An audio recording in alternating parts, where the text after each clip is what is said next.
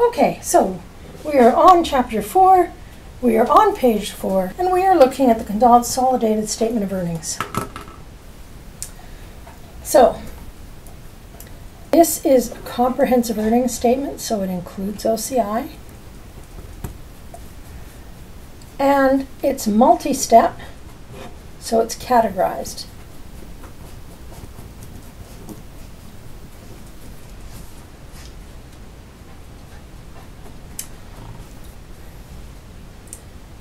Okay, so this is a template for you. Kind of shows exactly what it should look like. So we'll just briefly go through it. Here's our sales minus cost of goods sold, gross profit. We've got our operating expenses broken down into selling and admin. So we have earnings from operations. Then we have the other. Now notice interest revenue is included here. That's because they consider this a financing activity separate from the main business activities. So interest revenue and interest expense is always going to be there. Then there's a gain on the sale of investments and trading securities and subtotal that. So we have other revenues and gains, other expenses and losses. Sometimes you will see these combined, okay? Like for example, if you only had an interest revenue and an expense, you might just list them in one. But in this example, to be thorough, you'd list them in two. Impairment of goodwill. Goodwill is what we write down or record when we buy more than 50% of another company, and you learn that all in advanced. And then there's a loss due to flood damage, which is incidental, so it's included. Here's our earnings from continuing operations before income taxes, so that's where we started on the last page. Then we've got our income taxes and earnings from continuing operations. Then we have our discontinued, and notice these are both losses, so there's recoveries to get these numbers, then there's net income or net earnings.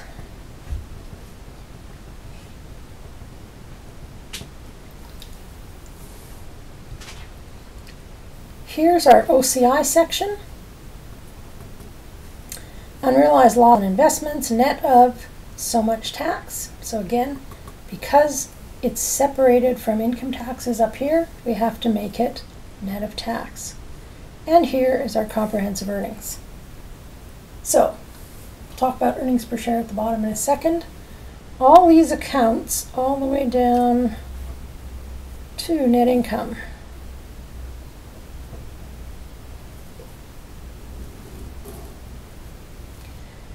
These accounts, not subtotals, get closed to retained earnings. Whereas these that are in OCI get closed to AOCI. So under earnings per share then, we have from continuing ops, then discontinued ops, then net income. So by pulling discontinued ops out, it gives investors a number that is more likely to be sustained because this will all go away once we've sold off and got rid of the segment or the geographic location or whatever it is. So this is the number that's going to prove to be more sustainable. That's why we separate it out. Um, notice down here it tells us about the tax, it tells us about the shares and dividend uh, for preferred and that's to calculate EPS, which we're going to do on it in a little while. And if you look in illustration 411, operation expenses can be broken down into more detail. So cut out, because let's say you're doing a Wiley Plus question. So you're looking for selling expenses, and it doesn't have selling expenses as a single thing well, then maybe you're looking at breaking it down into more detail. in which case you list your selling expenses, list, list, list, list, list, and then total them up. Okay? So you'd have to pull them in and out. So watch for that, you guys. You have to be flexible now because we've moved away from intro. Now you have to start looking at different ways things are presented. Don't turn the page over yet. I'll, I'll put it down here just to show it to you. What if the impairment of goodwill was not tax deductible? How much would income tax expense be? So take a second. We're saying this, where is it? Impairment of goodwill was not tax deductible. How do I calculate income taxes then? Take, put it on pause, you guys. Try doing this question so that you've thought about it and able to um, get some things straight in your head. And I'll just keep going. You can put it back on when you're ready to see if your answer is right.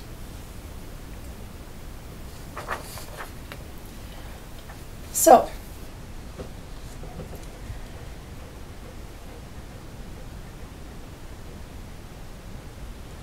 we know tax expense is 25% times all the taxable income,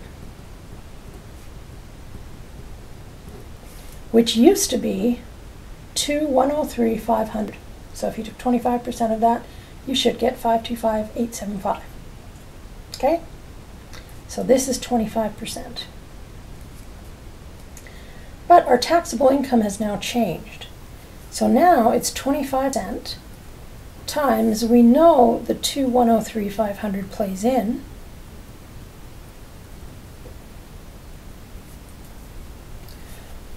But do you, and we need to take this out or add this in or do something. We've got to get rid of the impairment of goodwill. Well, we subtracted it, because impairment's like a loss, to get this number. So do we add it back or subtract it again? We have to add it back. And so that's out to 558375. So hopefully that makes sense to you.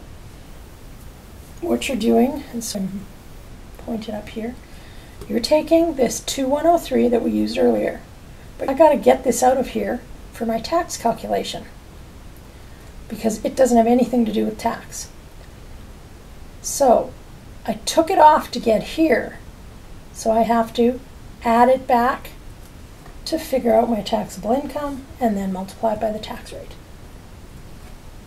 So these are the kinds of things you guys put in intermediate because we're trying to get you to think bigger than just, oh, this is how you do an income statement. Because in practice, you could get this from someone, and this could be tax um, tax uh, recoverable, and they will have done this wrong.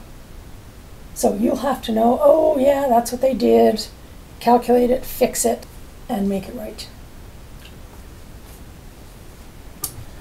Okay. So even you guys that don't go to the CPA but that are working in accounting have to be able to um, think of the concepts of it, not just memorize it straightforward, because often you're going to be looking at someone else's work, okay, especially as you move up in your career. Okay, so that was the multi-step income statement. And as you know from intro, there's like a billion types. The next one I want to look at is on page five and it's the single step. And you just split it into the continuing ops to revenues and expenses. And of course, in with revenues would be gains, in with expenses would be losses. So we've got our revenues, sales revenue, rent revenue. We've got our expenses all listed there, particular order. Then we get continuing earnings or um, income before tax. And notice the wording's a little different, right? Well, continuing earnings before earnings tax, shouldn't that say continuing income before income tax, well, it doesn't matter, it means the same thing. So kind of get flexible. So that's where everything else kind of stops. This is the different part. And then this is kind of the same.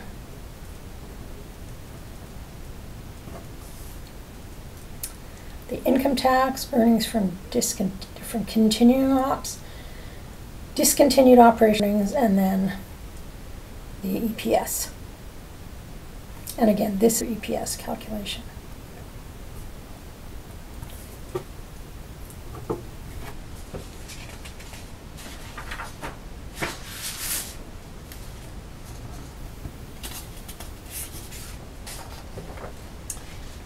Okay, so I want to talk about the condensed statement. So we had multi-step, single-step, and condensed.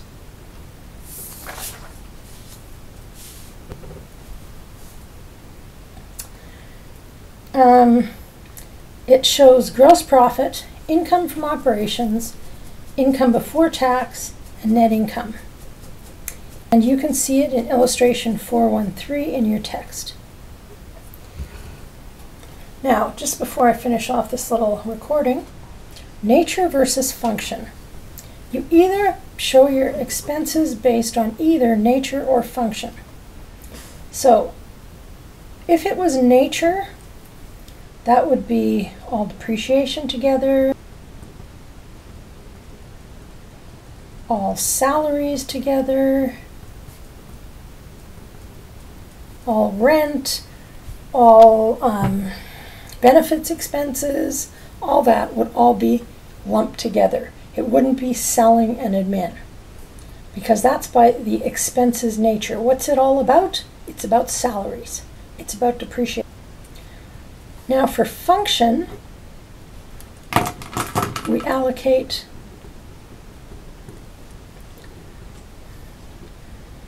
based on the function organization selling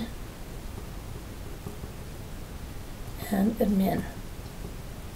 So this would be more like the multi-step and this more like the single step.